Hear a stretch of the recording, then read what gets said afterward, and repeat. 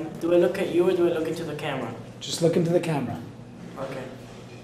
What is Whacktown? I'm not sure if it even exists, but actually, you know what? I'm sure it doesn't exist. First of all, it isn't real. Second, if you think it's real, you're an idiot. Third, it just scares children. Pussies. I've never really been myself. Wait, it isn't a real place, is it? I hear people disappear there, like there's no way out. It's like when your parents tell you to hold their hands tight, or else you'll end up in Backtown or something. But they always call it something else. Whatever. Freaks live there. Where nightmares go to be born?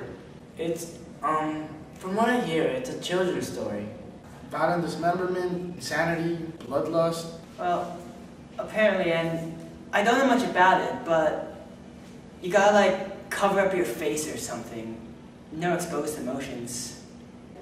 I got better things to worry about. I think you find it in the darkest place in your mind. If you're logical, you'll know it's not real. But it's just a story, right? It's real.